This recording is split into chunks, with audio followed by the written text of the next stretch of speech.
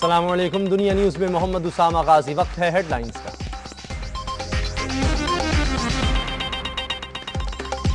Chicago conference में सदर Zardari Barack Obama और हामिद करजई की मुश्तर मुलाकात तय पा गई। इजलास से पहले नेटो सप्लाई बहाल कराने की अमरीकी कोशिश नाकाम। वज़ीर आज़म ने कहा है कि किसी में हिम्मत है तो उनके खिलाफ अदम एतमाद लाए। चौधरी शुजात कहते हैं वज़ीर आज़म को किसी जज ने नाअहल करार नहीं दिया। नवाज़ शरीफ कहते हैं, हुकूमत को मनमानियाँ नहीं करने देंगे। भारत से तिजारत के लिए गंडा सिंह बॉर्डर खोला जाए।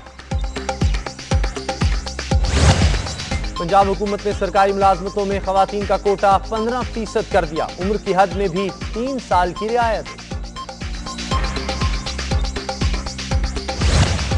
कराची में फायरिंग से छह अफराद जाम भाग हो गए। मुख्तलिफ़ इलाकों में रेंजर्स और पुलिस का Mushtar flag march. Chairman PCB Zaka Ashraf ने कहा है कि कौमी टीम में सियासत करने वाले खिलाड़ियों को निकाल देंगे। और शौहर ने फेसबुक पर खुद को शादीशुदा नहीं लिखा। भारत में बीवी तलाक लेने अदालत पहुँच गई।